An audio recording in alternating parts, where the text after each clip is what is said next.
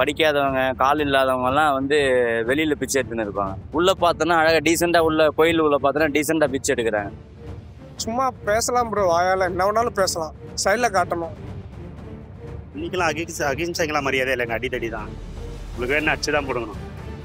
யாராவது போராட்டம் பண்ணியிருப்பாங்க கடைசியில் அவங்கள மாதிரி வாலி பசங்களை பிடிச்சி கொண்டு ஜெயிலில் போட்டுருவான் ஜஸ்ட்டு ஒரு நாள் லீவ்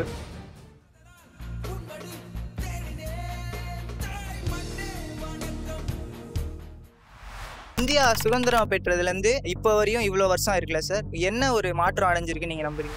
டிரான்ஸ்போர்ட் இப்போ நாங்கள் செங்கல்பட்டு வேலைக்கு போயிட்டு வரேன். ட்ரெயின் வசதிகள் அப்புறம் இண்டஸ்ட்ரி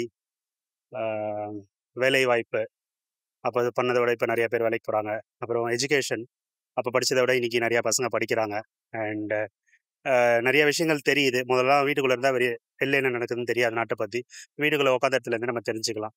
ஸோ எஜுகேஷன் டிரான்ஸ்போர்ட் தொழில் எல்லாத்துலேயுமே வளர்ச்சி அடைஞ்சிருக்கு சில குறைபாடுகள் இருக்கலாம். அது முக்கியம் இல்லை.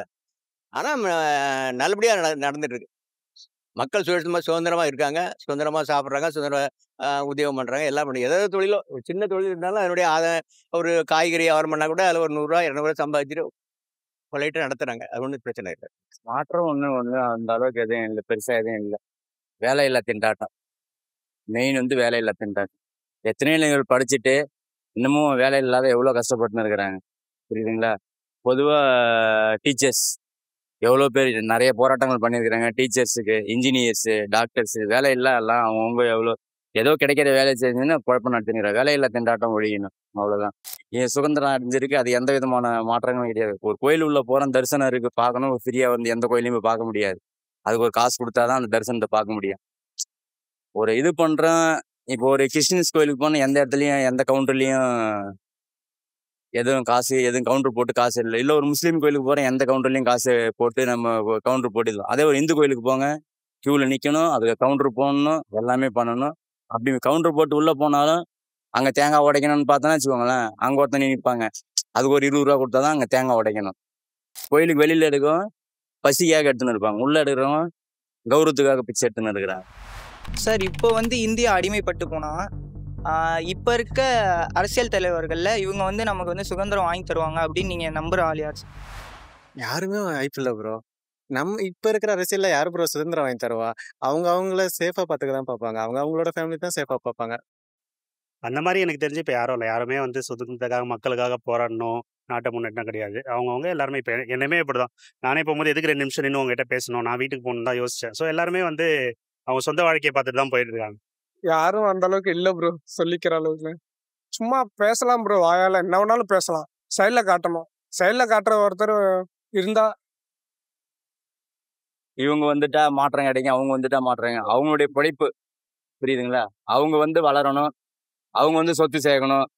அப்படிதாங்களா? யார் வந்து யாரும் எந்த பிரயோஜனமும் கிடையாது. அவங்கவுங்க அவங்கவுங்க ஜெனரேஷனை வந்து ரீச் பண்ணிக்கிட்டு தான் பார்க்குறாங்களா மக்களை பற்றி யாரும் கவலைப்படுறது கிடையாது. இப்போ இந்தியா அடிமைப்பட்டா நீங்கள் வந்து காந்திஜி மாதிரி அகிம்சை வழியில் போராடுவீங்களா? இல்லை சுபாஷ் சந்திர போஸ் மாதிரி வழியில் போராடு இன்னைக்கெல்லாம் அகிம்சை அகிம்சைக்கெல்லாம் மரியாதை இல்லைங்க அடித்தடி தான்.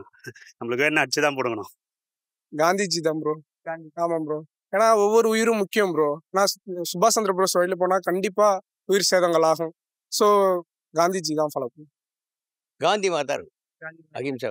மிலிட்ரி ரேங்கிங்கில் நம்ம ஃபோர்த் பிளேஸ் இருக்கிறதுனால நம்ம அஃபென்சிவாக இருக்கிறது தான் ப்ரோ பெட்டர் கத்தி எடுத்து வழியில் கத்தி தான் எடுக்கணும்னா கத்தி எடுக்கணும். அமைதியாக இருந்து போகணும்னா அமைதி அந்த வழியில் பார்த்தா அமைதி போகணும். ரெண்டுமே தேவை. என்னை பொறுத்தவரைக்கும் ரெண்டும் தேவை. இதுவும் வேணும் அதுவும் வேணும். சுபாஷ் சந்திர போஸ் சொல்லி தான் ப்ரோ சுபாஷ் சந்திர போஸ். சுதந்திர தினம் அப்படின்னு சொன்னோன்னே உங்களுக்கு ஞாபகம் வர தலைவர்கள் சுதந்திரம் சின்ன வயசுல நம்மள காந்தி தானே மனசுல பதிய வச்சிருக்காங்க அதனால காந்தி. நம்ம கொஞ்சம் வளர்ந்ததுக்கு அப்புறம் படிக்கிறதுனால போராட்டங்களை பத்தி தெரிஞ்சுக்கலாம் சுபாஷ் சந்திர போஸ். அப்புறம் மூணாவதா வந்து நேரு.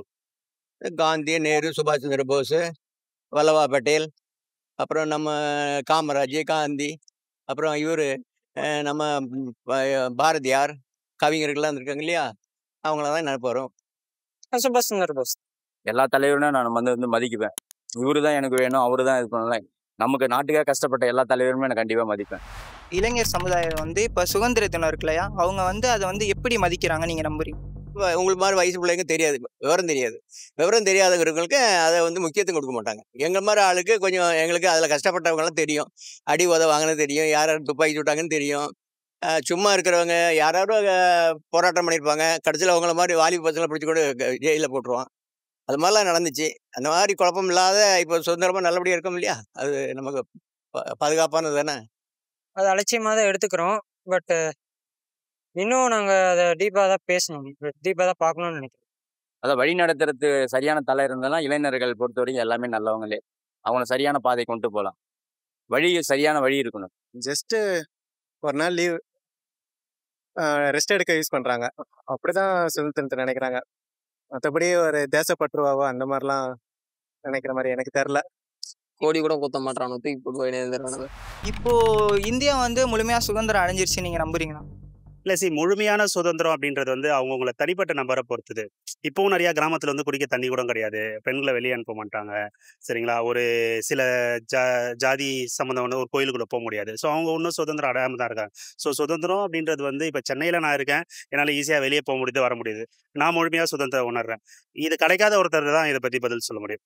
எனக்கு படிப்புலையோ வேலையிலையோ எனக்கு சமுதாயத்தில் எந்த வித த தடையும் இருந்ததில்லை. ஸோ எனக்கு வந்து சுதந்திரம் வந்து முழுமையாக இருக்குன்னு நான் நம்புகிறேன் அது தனிப்பட்ட மனிதனை பொறுத்தது.